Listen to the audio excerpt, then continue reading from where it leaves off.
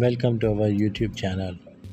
Silver Dollar Speedway witnessed a dramatic and sobering moment last night during the 70th Gold Cup Race of Champions.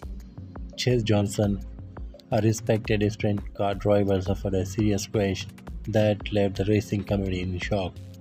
As one of the most highly anticipated events in California sprint car racing, the Gold Cup brought together top talent and fans eager to witness a night of thrilling action.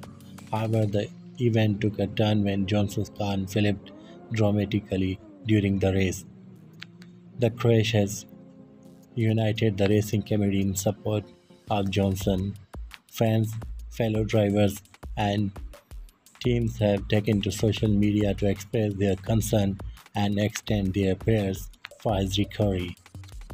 Johnson's condition following the incident remains a top concern, and updates are eagerly awaited.